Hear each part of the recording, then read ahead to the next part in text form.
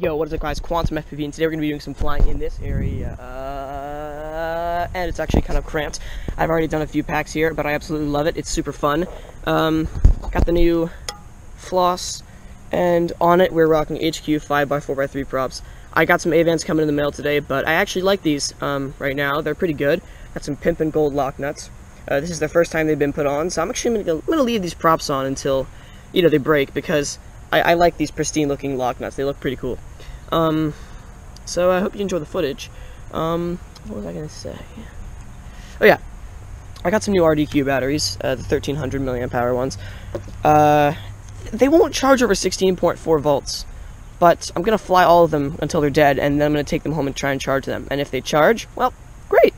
I've already sent RDQ an email, and knowing those guys, they'll probably send me like 69 new batteries for nothing, so